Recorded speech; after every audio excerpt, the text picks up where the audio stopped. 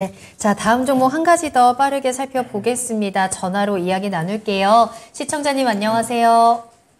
그러니까 네, 반갑습니다. 어떤 종목 궁금하세요? 예 강원랜드요. 네, 매수가랑 비중 어떻게 예 되실까요? 19,200원 20%요. 19,200원에 20%. 아, 예예 물타기 해가지고 19,200원. 그러셨구나. 알겠습니다. 그럼 이 종목 어떻게 도와드리면 좋을까요? 아 이거를 손절을 해야 되는지 음. 안 그러면 네.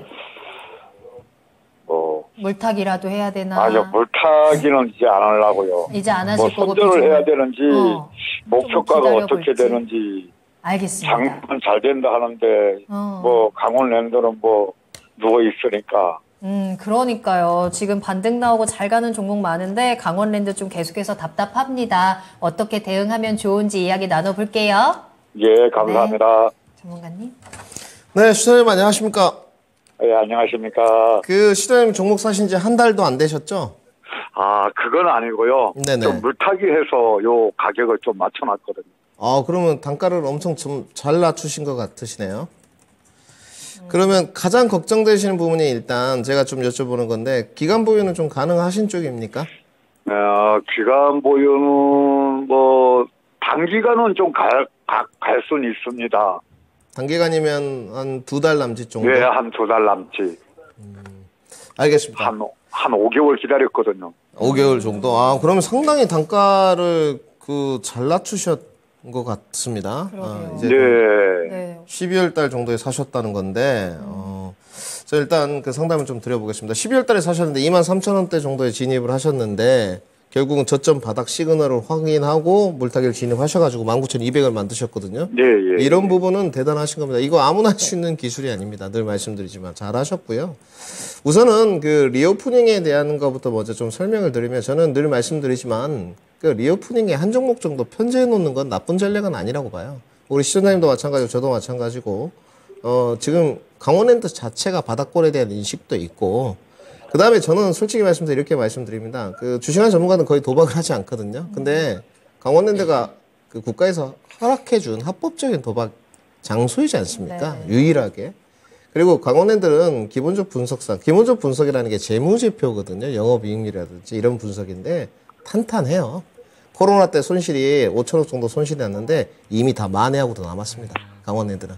그러니까 뭐 강원랜드냐 파라다이스냐 의견이 분분한데 기본적 분석상으로 보게 되면 강원랜드가 좀 낫습니다. 그래서 저는 강원랜드 보유 의견을 좀 드리고 싶고요.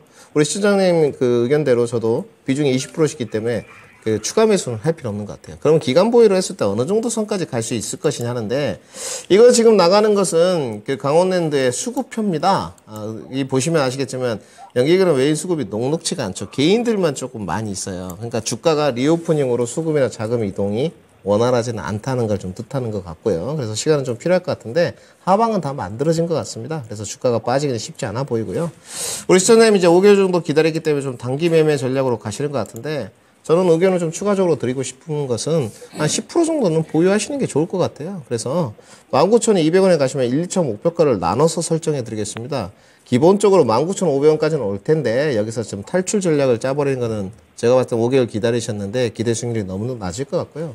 좀 장기로 보유하게 되면 충분히 이 강원랜드 같은 경우는 목표가를 더 높, 높아갈 수 있습니다. 저는 그냥 이렇게 봐요. 경기 침체 국면에서 사람들이 도박 안 하겠느냐? 전 그렇게 보지 않습니다.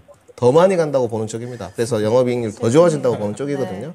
어쩔 수 없습니다. 사람들이 돈이 공하면 더 가게 돼 있어요. 그래서 저는 1, 2차 목표가 단기적으로 제시해 드리는데 1차 목표가는 어, 2만 1,000원 제시토록 하고요. 그때 10% 비중 축소 의견 드리도록 하고요. 나머지 10%는요, 우리 시청자님이 제가 봤을 때 시간 투자만 좀 하시면 이 종목은 충분히 2만 3천 원까지 올라갈 수 있습니다. 그래서 그때 뭐 기간 보유를 한번 고민해 보셔야 되겠지만 2차 목표가는 2만 3천 원 제시도록 하겠습니다. 음, 시청자님 지금 대응 충분히 잘 고맙습니다. 하셨고요. 네, 수익 계속해서 좀 키워 가시길 바랄게요.